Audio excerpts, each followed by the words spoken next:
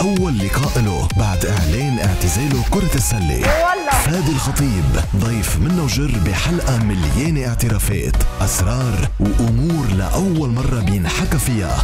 منه وجر مع بيير رباط الثلاثة عشرة إلا ثلاثة المساء مباشرة على الإم تي في.